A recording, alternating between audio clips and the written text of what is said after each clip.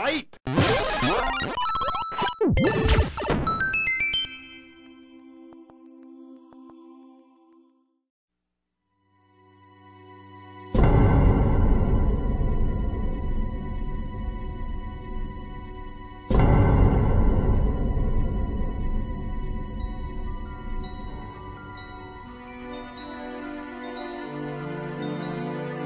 Back in late 1997, I caught something on TV which was a big rarity at the time.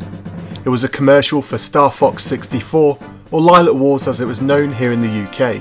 It's easy to forget that back then seeing a game commercial here on TV was somewhat of a big deal, reserved for an elite selection of games which were trusted console sellers and needed to have some serious muscle behind them to afford the airtime. One of the very few N64 games we ever got commercials for here was indeed this very game. When watching the commercial my mind was blown at just how far the series had come along. I'd played the Super Nintendo game to death with my friends, but the technical leap which I was now seeing was warping my fragile little mind.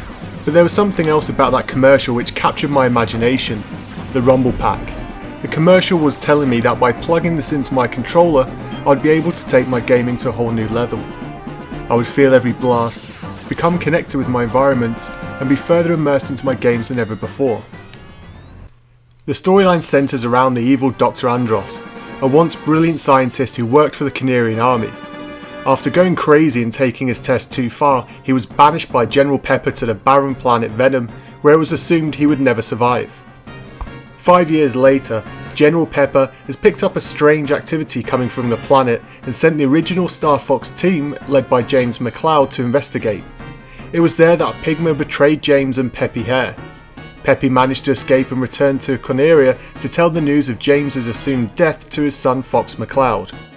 After years passed, Andross declared war on the Lylat system and his army spread across the galaxy. General Pepper turned to the new Star Fox team, which is where the game picks up. The chief engineer of the team, Slippy Toad, whom had rejoined the team after it was reformed by Fox McCloud. Peppy Hare, a survivor from the wars, who is the eldest team member and was a wingman of James McCloud before he was killed.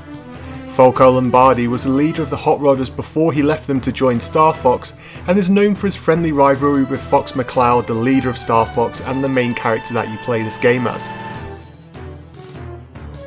Star Fox 64 has 15 missions which link together across a number of different paths which all lead to an ultimate battle with Venom. Depending on your performance during each level, you'll be presented with alternative paths throughout the game. Mixing things up in terms of gameplay are some stages which you leave behind the cockpit of your Arwing behind to jump into either the underwater blue marine vehicle or my personal favourite the Landmaster, with these special vehicles being in the game to mix up the gameplay, it adds a great sense of adventure into the game, and you'll find that you'll use trial and error to figure out the best route to take through the game. It's strange because this was one of the few criticisms against the game by some reviewers of the time. In essence, to complete the game, you only need to complete a handful of levels and kill Andross. Some reviewers said that this made the game feel cheap, but I couldn't disagree more. One of the most compelling parts of Star Fox 64 is that it is just that, a short game to play, but it takes a long time to master. Each play through the game shouldn't take more than an hour or so, but it's with the path you will take between the start and end of the game that makes this so impressive. With the multiple paths throughout the game, there's an insane amount of replayability. Add to that the high scoring and medal system, it really makes it a game that you'll keep coming back to time and time again. In total, there are 25 different paths you could take through the game to lead you to Venom, and with different endings to boot.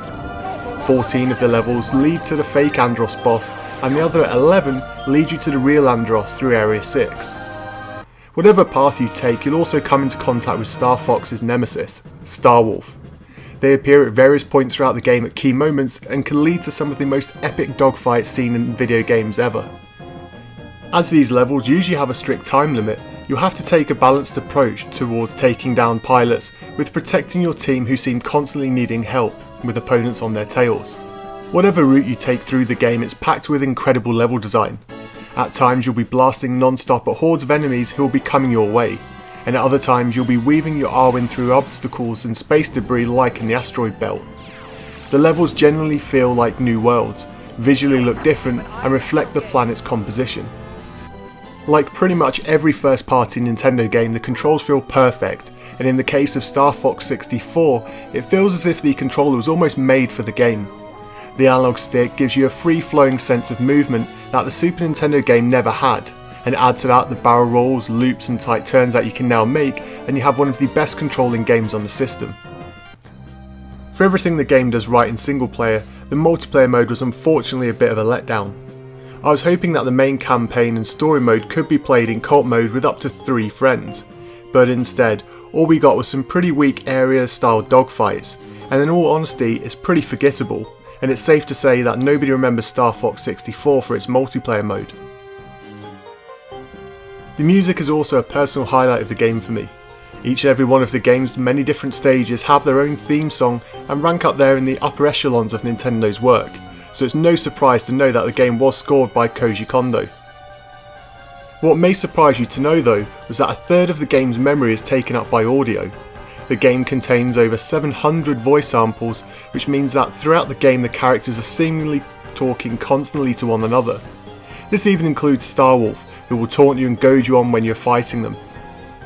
Of course the game is famous for the many lines of dialogue which are immortalised into gamers' minds everywhere. Do a barrel is a line which trended worldwide for weeks when Google included it as an easter egg in their search engine, but many people found the voice acting irritating after a while. It was however a vast improvement over the Super Nintendo original, and without being a CD based game it's quite impressive when you consider how much voice work there really is in this game. In another cool twist here in Europe, we had the option to enable the language mode as Lylat, which replaced all voice acting with the Lylat gibberish which was found in the Super Nintendo game. On its release in North America, the game sold like crazy, shifting over 300,000 copies on its first week in sale. That is actually more than Mario Kart 64 and Super Mario 64 did in their first week on sale, so it was surprising to see that the game sold considerably less in Japan, where it only managed to push over the 75,000 mark in its first week in sale. Regardless of how well the game sold, it's known as being an instant classic. With a virtual console release and a remake for the Nintendo 3DS, Star Fox 64 in my opinion is the pinnacle of the series. It makes me wonder why, with such a beloved franchise, Nintendo hasn't been pushing the adventures of Star Fox team out more regularly. In the Guinness World Records Gamer Edition of 2009, Star Fox 64 is listed as the 45th greatest game ever made, and I want to know your thoughts. Do you consider this to be perhaps one of the greatest N64 titles of all time? Or do you think that this is a game which has been overhyped over the years due to the lack of credible sequels? Do you believe that nostalgia is what keeps this game relevant, or do you think it's because of its perfectly balanced gameplay and awesome presentation? This is a community, so let's kick off the discussion down below in the comments section, and as always, thanks for watching, and until next time.